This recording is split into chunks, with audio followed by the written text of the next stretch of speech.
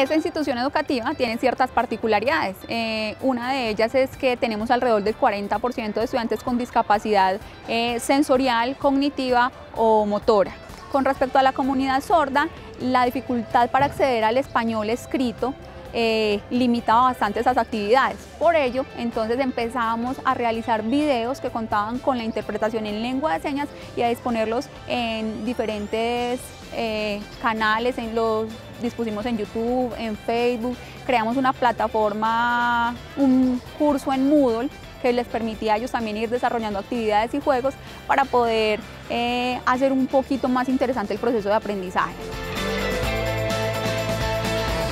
De la mano de Computadores para Educar hemos podido brindarle a los estudiantes competencias digitales que apoyan el aprendizaje de otras áreas del conocimiento, en este caso el desarrollo de, competencias en el área específica de ciencias naturales y con las adaptaciones que necesita la comunidad sorda, con la interpretación en lengua de señas colombiana, con eh, los subtítulos para aquellos estudiantes que están avanzando en el proceso de adquisición de la segunda lengua.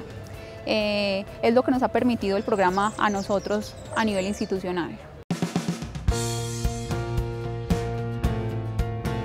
La tecnología es muy importante para la comunidad sorda porque el, el, hecho de que ellos necesitan más de lo visual que lo escrito y lo teórico, pues lo remite a uno a que necesitan mucho el uso de los computadores aquí en la institución. Aquí hay una sala de sistema, fuera de eso están los computadores que vienen en las maleticas que son los computadores para educar. Igualmente por medio de esos computadores ellos han aprendido Excel, Word, a manejar internet, a hacer páginas web, todo lo que implica pues la clase de tecnología informática como tal y siempre pues por medio del puente de comunicación que es el intérprete.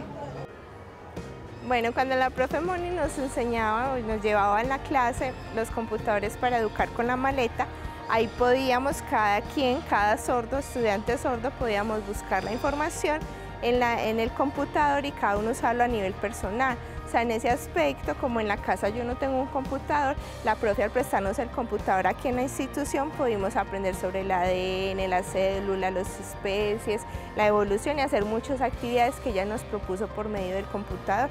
y gracias a la profe que hizo eso por mí, por el colegio.